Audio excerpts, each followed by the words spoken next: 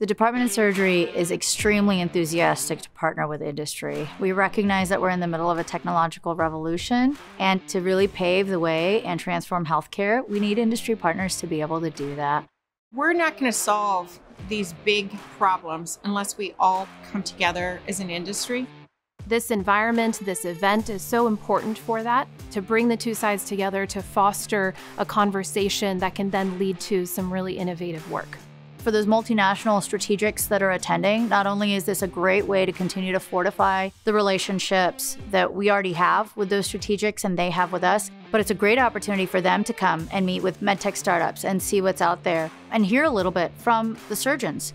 What do we want to see? What areas do we need to see growth? What areas are unmet needs that we want to see innovation? And how can we serve as partners?